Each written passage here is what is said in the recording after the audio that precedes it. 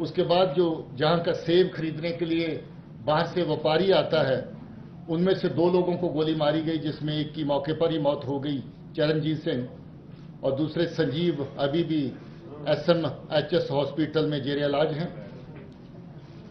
लोगों ने बहुत सीरियसली इस इशू को लिया और इसकी मजम्मत बहुत लेवल पे हुई और मिलिटेंट्स को काफ़ी जगह पर दरकारा गया इस बात के ऊपर। और उसके बाद हम लोगों ने भी सिक्योरिटी का कुछ रिव्यू उस एरिया का लिया और सिक्योरिटी के और इंतज़ाम जो करने की ज़रूरत थी, वो की गई। इसके साथ साथ जो मिलिटेंट एक्टिव हैं, जो लोगों की रोज की जो ज़िंदगी है, उसमें दखल देते हैं। और दखल इस हद तक देते हैं कि लोगों को कारोबार करने से रोकने के लिए अगर उनको मारना पड़े तो उससे भी गुरेज नहीं करते हैं, जैसा हमने देखा।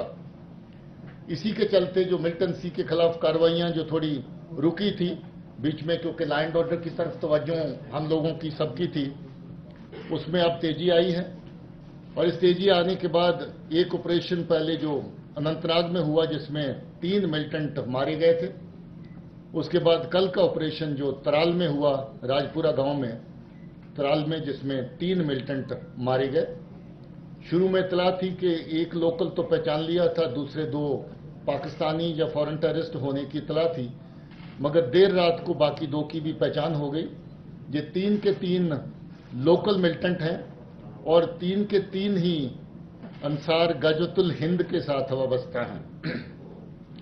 आपको याद होगा जब जाकर मूसा मारा गया था, उसके बाद इस ग्रुप की कमांड जो है वो हमीद ललिहारी को दी गई थी।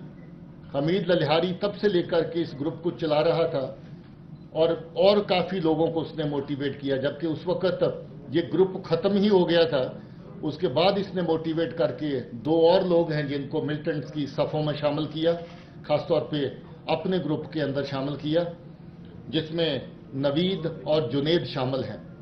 ये तीनों के तीनों मिलिटेंट वंतीपुरा पुलवामा बेल्ट के रहने वाले हैं और तीनों के तीनों जैश के साथ आजकल कोऑर्डिनेशन में काम कर रहे थे, क्योंकि जैश मोहम्मद धीरे धीरे लश्कर के साथ हिजब के साथ, इस सब के साथ अपना रबता जोड़ रही है। और उनकी ये कोशिश है कि जितनी अफरा तफरी जितनी कत्ल गारत जितनी वायलेंस जहाँ पर बढ़ाई जा सके, पाकिस्तान की एजेंसियों के इशारे पर उसको बढ़ावा दें। हमीद ललिहारी 2016 में एक्टिव हुआ था, और तब से लेके आज तक काफ़ी टेररिस्ट एक्टिविटीज़ में ये शामिल था। इसने काफ़ी पे जो जो अटैक हुए फोर्सेस के ऊपर उसमें हिस्सा लिया। काकापुरा में अटैक हुआ था, उसमें भी इसने हिस्सा लिया। इसके अलावा फयाज अहमद जो काकापुरा का रहने वाला, उसकी किलिंग हुई थी, उसके लिए भी ये शामिल था। उस कत्ल में भी इसका हाथ था। उसके अलावा पुलिस में और सिविलियन के ऊपर बहुत जगह पे जो अटैक हुए इस एरिया के अंदर, का काकापुरा पुलवामा के अंदर उसमें शामिल था।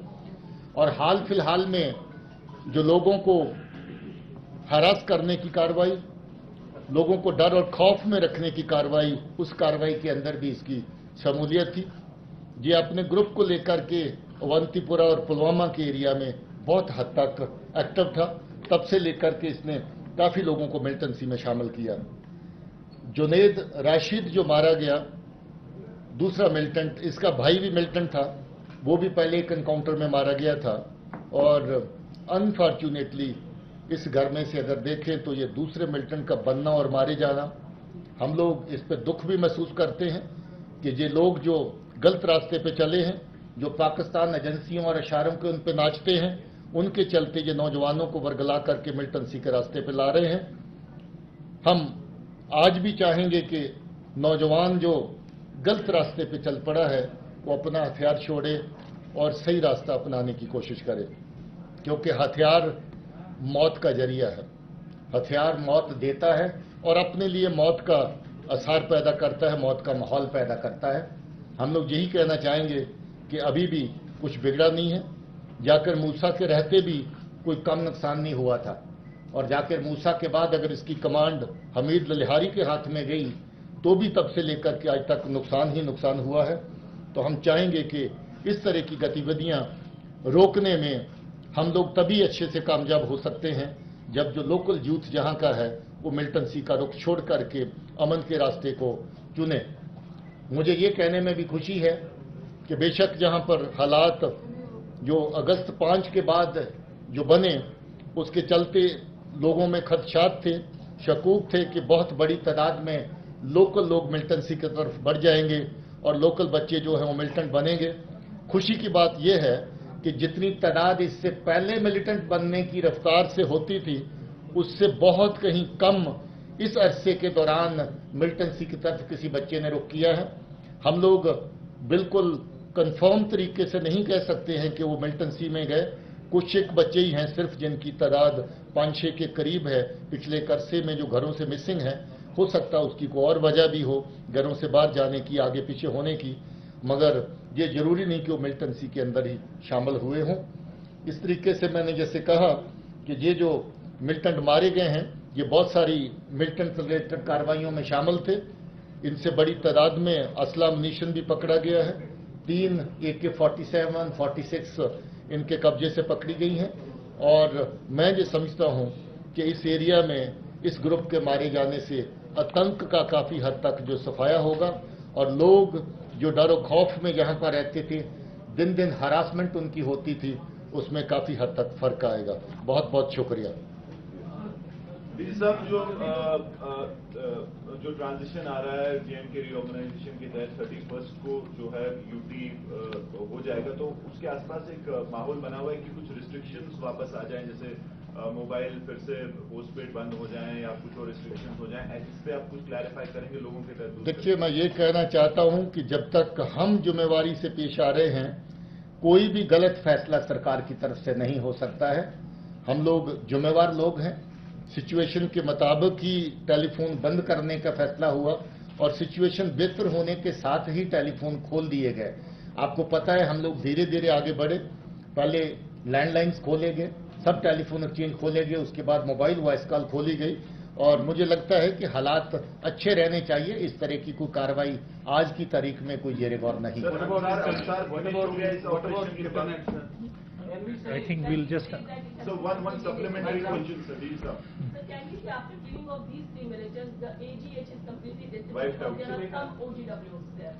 देखिए बहरहाल तो एजीएच वाइप आउट हो गई है मगर इनका एक आंसर रहता है जो इनके इनके पीछे ओजीडब्ल्यू नेटवर्क के खाते में चलता है उनमें से कोई अचानक कभी उभर जाता है और मिल्टन सफ़ों में शामिल होता है और सामने आता है उसके लिए कहना अभी मुश्किल होगा मगर फ़िलहाल एजीएच खत्म हो गई है।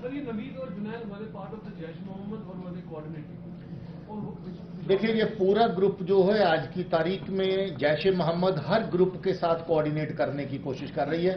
क्योंकि जैश मोहम्मद और लश्कर तौबा को ही पाकिस्तान से हदायतें आती हैं कि किस तरह की वायलेंस करनी है किसको टारगेट करना है और क्या लेवल वायलेंस का रखना है। उसके चलते जैश और लश्कर ये सारे ग्रुप्स के साथ तालमेल बैठाने का काम करती हैं।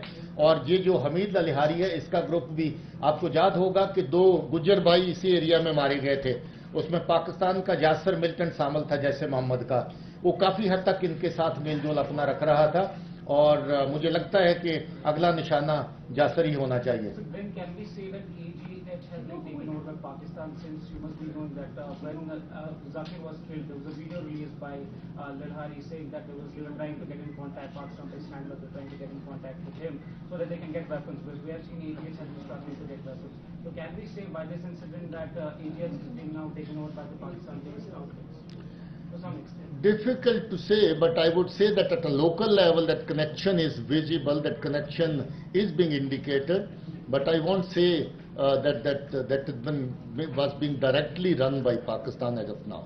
Sir, you said that there has been very low recruitment during this stage. How do you see it in near future, especially during the spike in militancy or activities like or recruitment especially after uh, देखिए ये जो कमी आई है इस वक्त militancy में ये पाकिस्तान को काफ़ी परेशान कर रही है इसीलिए पाकिस्तान की तरफ़ से बेहद कोशिशें हो रही हैं कि रोज़ और रोज़ मिलिटेंट्स के जहाँ पर पुशिंग करें और इनकी तादाद बढ़ाएँ।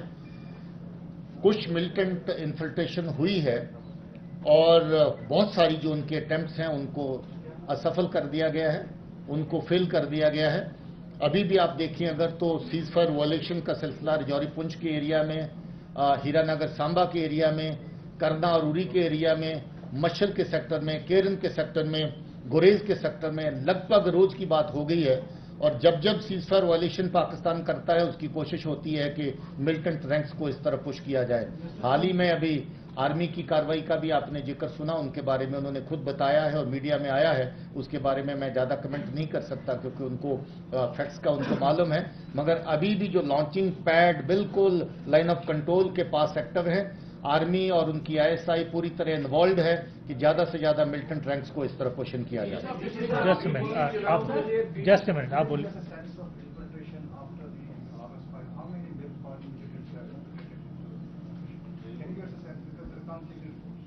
See, uh, it's difficult to give you exact number of uh, militants who have come in after August 5, but uh, their number is sizable, that much I can say. Their sightings have taken place at number of places in North Kashmir and South Kashmir, and, and going by that, we feel that the number is sizable. But again, I would say that number is not that big that we should be very much worried about it. That number is, uh, as it happens always, they send some number, we deplete some number. So therefore, that process is on, so we would, we would bring that number down.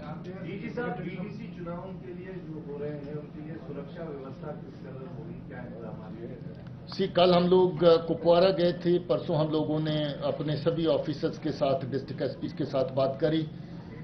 BDC के जो चुनाव हैं, उनके लिए इंतज़ाम सब जगह पे कर लिए गए हैं।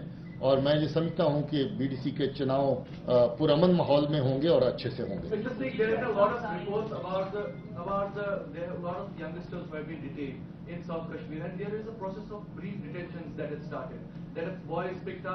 Kept in the camp or by the police for some time and then released after some time. We saw a lot of parents, for example in Shirmal, seven- 15 people were detained after that guy was killed.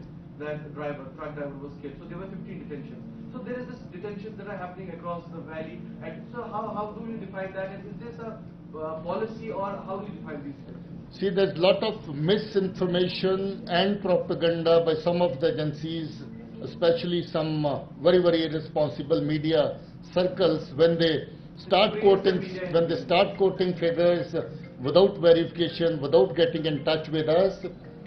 I'm very sure that whatever action is taken, that action has got good solid basis, only then we go in for that action. We go in for that action only to see that wherever those militants have a support base in terms of OGWs and their associates, we have to pick them up. We pick them up, we verify, we leave them. In fact, overall also if you see, the arrest which took place, out of every five persons who were arrested, four were left and only about one was retained. We are not fond of keeping people in our custody unnecessarily. All that action was aimed at maintenance of public order. That action was uh, very well calibrated and therefore whenever a need arose to pick up somebody, we picked up. But after verification, after counseling of most of the youth, we left them out. And I'm happy to report that most of the places where they were counseled, they did not come back and create land order problems for us again. So those borderline involvement of uh, cases, we have certainly been very, very liberal, very much concerned, very much human in our approach. No one has been tortured, no youngster uh, teenager or, or, or let's say for that matter juvenile has been arrested or detained by us. In, in, in some cases where uh, the age was doubtful, that age has been verified and after verification we have taken legal action and wherever a juvenile was arrested also, provisions of the Juvenile Justice Act were followed strictly, very strictly everywhere and we haven't tortured, we haven't harassed anyone unnecessarily, no uh, violence from police side has taken place anywhere.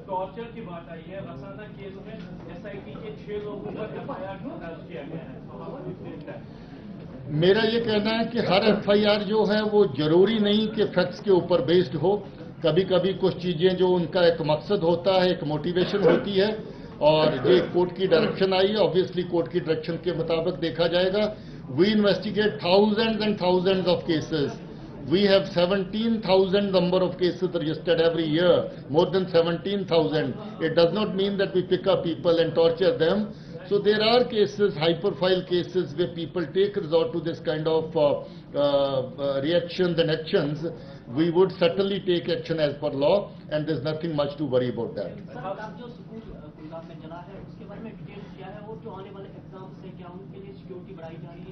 देखिए exams बच्चों के interest में हैं, बच्चों के माँ बाप के इंटरेस्ट में हैं। हम सब चाहते हैं कि एग्ज़ाम अच्छे से हों स्मूथली हों। हम लोग जहाँ जहाँ ज़रूरत होगी, पुलिस मदद करेगी। बच्चों को हरास परेशान करने के लिए पुलिस का कोई काम है नहीं। हम लोग उनको सपोर्ट करने के लिए हैं, ताकि उनको कोई आकर के जब वो एग्ज़ाम देने के लिए जाते हैं, परेशान ना करे। हम लोग एक जनरल सिक्योरिटी का इन्वॉल्वमेंट क्रिएट करेंगे और बच्चों को कहना चाहेंगे कि अपना साल खराब ना करें, अपना एग्ज़ाम सब जगह पे दें। स्कूल छोड़ने के का को, कोई एक मतलब कोई एक कोई ऑप्शन नहीं है।